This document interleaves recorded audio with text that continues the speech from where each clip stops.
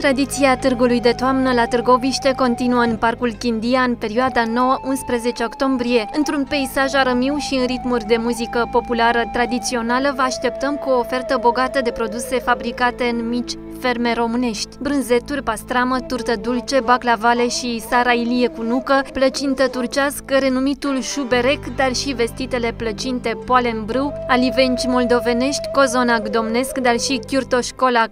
Vă așteaptă să le degustați în târgul toamnei. Păstrămioara, mititei, frigănelele la grătar, dar și sărmăluțele la ceaun vor fi udate din belșug cu must adus din podgorile de pe dealurile Vrancei. Și cum timpul rece se apropie, ne-am pregătit și cu papuci, căciuli, cojoace și haine de blană. Florile de toamnă vor încânta privirile. Negreșit, de vineri până duminică, trebuie să vă petreceți timpul în Parcul Chindia. Organizatorii și-au măsuri pentru respectarea tuturor condițiilor impuse pentru siguranța dumneavoastră. Un eveniment marca Boema Events.